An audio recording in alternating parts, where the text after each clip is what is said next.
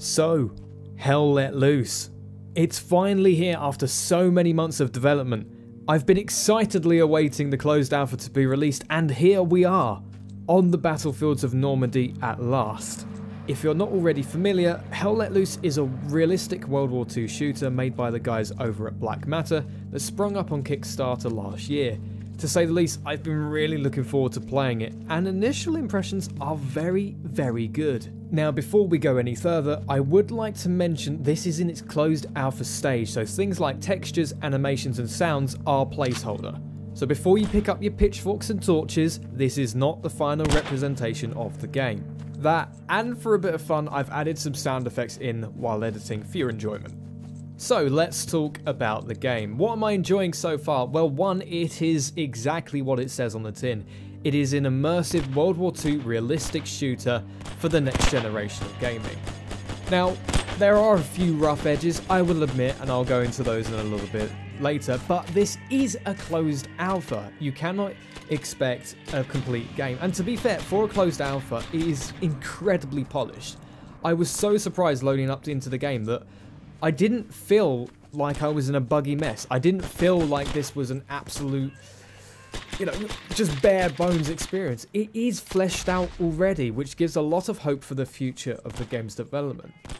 So how does it play? Well, as you would expect from a realistic shooter, it plays exactly like one.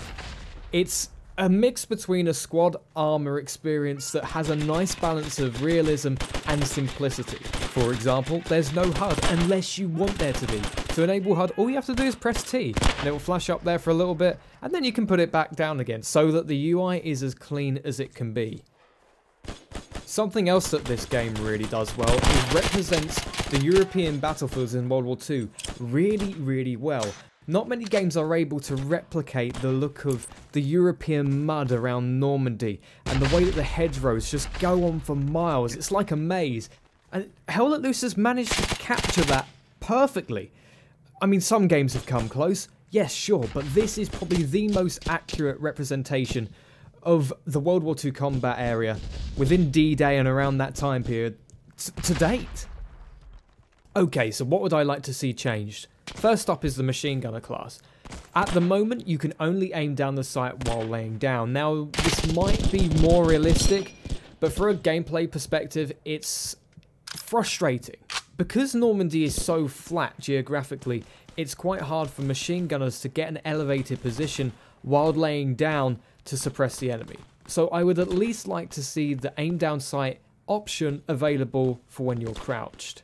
Next thing is the German grenades. There's currently an animation where you have to twist the top off to be able to set the fuse on the grenade. However, when you're currently scrolling through your kit on the German side, it gets caught in the animation which can lead to death sometimes because of you not being able to switch to your weapon. To sort this, I would suggest having that animation there for when you actually throw the grenade. Finally, and it's a little bit nitpicky, it's to do with the graphics. Currently, I believe that Hell Let Loose is using TAA as its anti-aliasing option. Now, it does make the game look nice and smooth, and there's no sharp edges, but what it does is it blurs a lot of the textures, which just sometimes takes away from the appreciation of how much effort's gone into this game. I'd like to see FXAA in the future, as well as some other options. Aside that, Hell Let Loose is shaping up to be a phenomenal World War II shooter, and I'll be sure to be bringing you some squad-based gameplay in the future. Anyway guys, take care. I'll catch you next time.